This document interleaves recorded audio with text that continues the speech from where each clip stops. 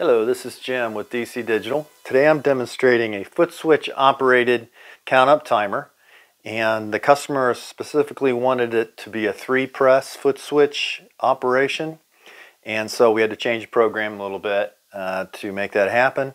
We do all of our all of our enclosures, we do all of our programming, all of our electronics here in house so we're able to do that very easily.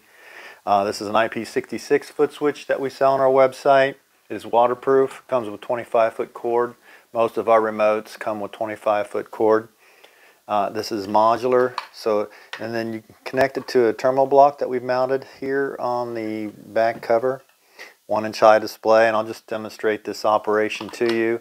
First press gets you your tenths, hundredths, and your seconds. Once you get above a minute, it shifts over. Once you get above an hour, it shifts over. So uh, to hours and minutes. So um, second press.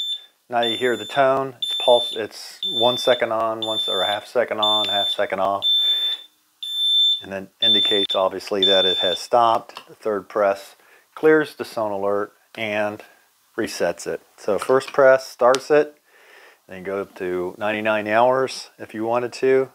Uh, second press gives you the tone, pulsating tone or the alternating tone, and then uh, stops it and then the third press resets it to zero.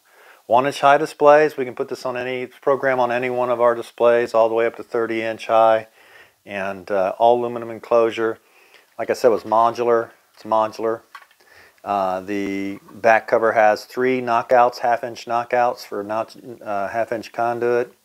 You can hang it with these two uh, keyhole uh, tabs on the back. There's a wall adapter, 120 wall adapter, comes with a 6 foot cord and a 2.1 millimeter coaxial uh, plug.